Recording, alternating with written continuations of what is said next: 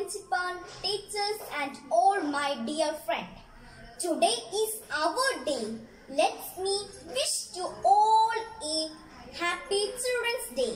India celebrates Children's Day on 14th November every year as a tribute to our first Prime Minister Jawaharlal Nehru.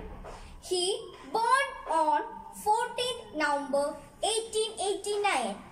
He loved children so much and children also loved and fondly called him Chachaji. He believed that children and the future of our nation. Hence, they should be nurtured and educated well.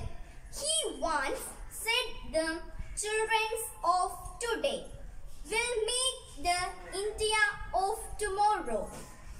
He was a great visionary, indeed friend.